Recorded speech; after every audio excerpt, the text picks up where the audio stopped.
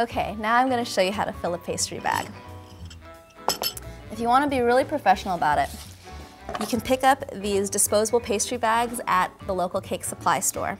And the first thing you wanna do is get one of these plastic things, they're called couplers, and stick it into the bottom of the bag. You wanna press it all the way down firmly, and then snip off the tip near where the coupler is, just like that. And then you take one of these, it's called a pastry tip, and if you're decorating cookies or cakes, you probably wanna get a three or a four. And you just place it right over the edge like that, and again, press firmly.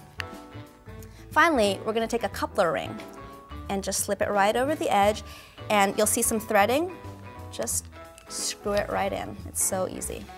Now that you have it in, you wanna fold the top down.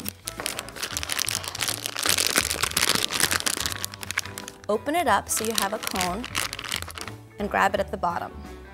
Now take your spatula. Now you want to put in about 3 fourths to 1 cup of icing in the bag.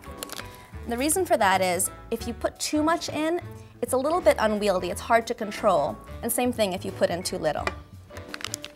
Now the great thing about these bags, these disposable ones, is that you can mix up icing in all sorts of different colors and um, you can just have them all laid out. Whereas if you have regular pastry bags, you have to wash them, you know, and change them in and out. So this is great for if you have a crowd. Um, then you want to push the icing down into the bottom of the tip and twist the top. And if you're uh, decorating, just should see a line like that. But if you don't have a pastry bag, don't worry, because you can also use a quart-size zip-top plastic bag.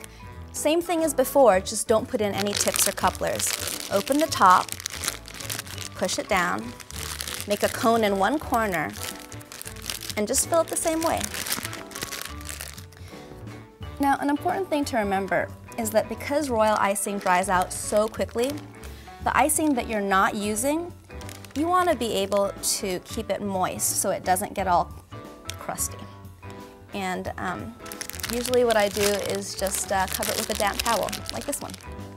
Now as for the Ziploc bag, you just want to push the icing again right into the tip and twist the top.